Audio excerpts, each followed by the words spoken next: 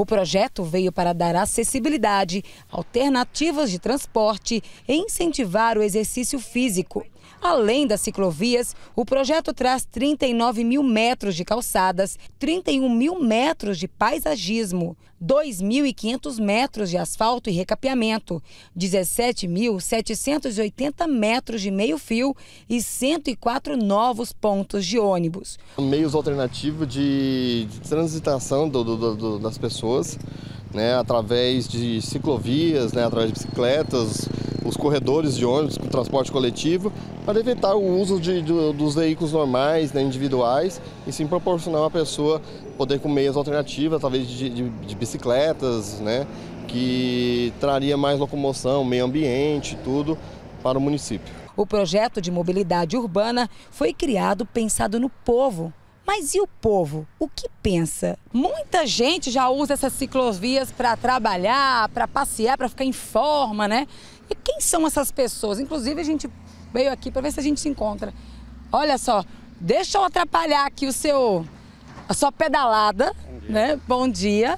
E me diga para onde o senhor está indo, como é que é? O senhor usa a bike todo dia? Todo dia, eu uso ela agora para trabalho, para me dirigir ao trabalho. E essa mudança aconteceu quando? Aí foi mais, em primeiro lugar foi questão saudável, né, para saúde, e agora mais financeiro econômico, não gasto combustível de veículo e tal, para mim ficou bem mais acessível. Então vamos fazer as contas aqui. Antes o senhor gastava mais ou menos quanto por mês com combustível?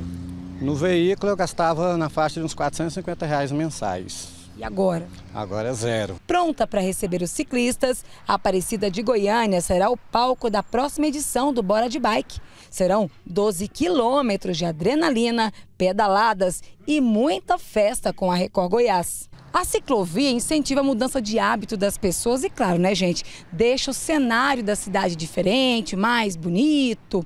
Daí nós viemos até a Avenida São João, na Vila Alzira, em Aparecida de Goiânia. Esse trajeto aqui, ó, ele faz parte do Bora de Bike deste domingo a partir das sete e meia da manhã. E, ó, a inscrição é grátis, você vai ter uma super festa e concorrer a vários brindes. Olha, eu tô treinando, mas tá faltando um pouquinho de jeito.